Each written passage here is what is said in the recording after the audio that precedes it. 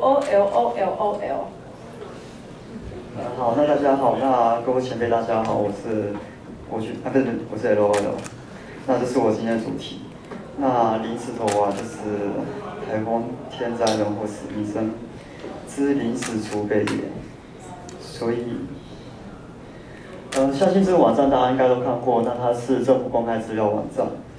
这个网站上面提供了很多很多资讯。那像说最近的话，有那个各行各业进行调查。那其实我目前在找工作。那其实目前台湾的就业环境确实蛮令人担忧的。那其实在这个网站上面，它并不是所有的政府公开资料都适合阅读。那像说有几个相当重要的经济指标，像说这个好了。这个是台湾的失业率，那或者是说这个是台湾的 GDP，那我们发现就是好像政府的很多经济指标，他们都特别喜欢用 XN 来表达，这我也不知道为什么。那我们来看一下几个范例好了，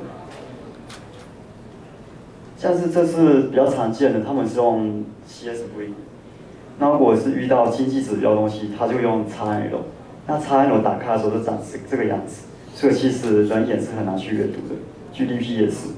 好，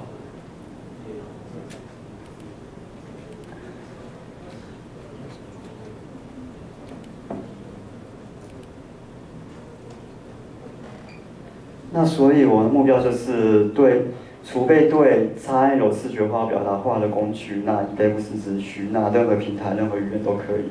那我目前是负责 iOS 部分，还有那个。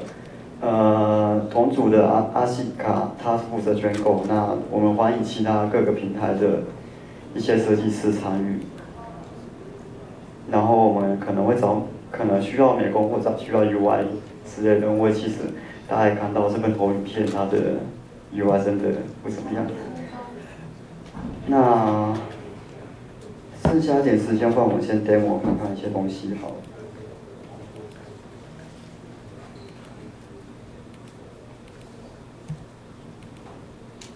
要挑战现场 demo 吗？呃，这个是我目前做到的。先 demo 那个半成品好了，那我们可以把一些数据给丢上来。那如果未来成比较成功的话，我们会做到像这样子，就是嗯，这跟那没有没有关系啊，就是使用者可以去选他要哪几个 attribute，然后直接丢上去。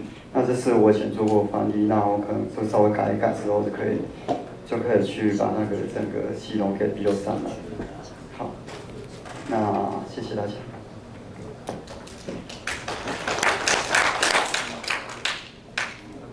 好，像一个是跟我借电脑的。